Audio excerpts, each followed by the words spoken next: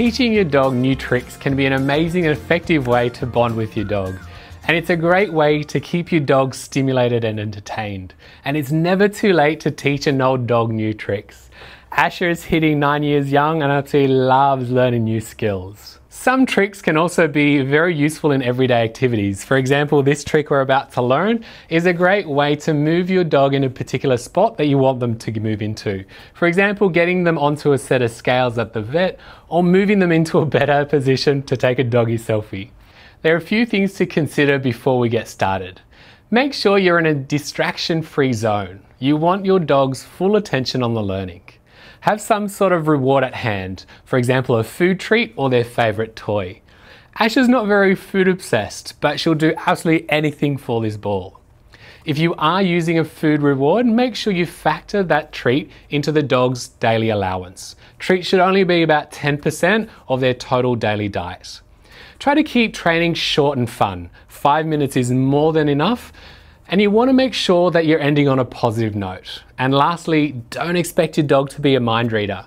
Show your dog what you want them to do by luring them into a position or action. So let's get started.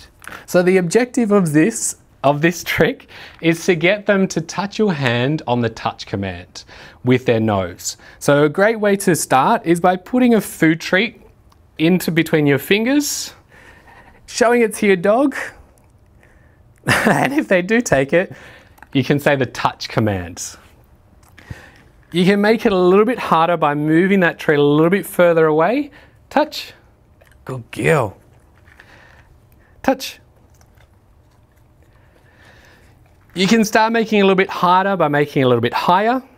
Asha, touch. Good girl. And once you're feeling confident, don't put any food treat in your hand at all. Touch. and see if they'll do the command. But again, they're not a mind reader, so you might need to make it a little bit easier. Asher, touch. Good girl.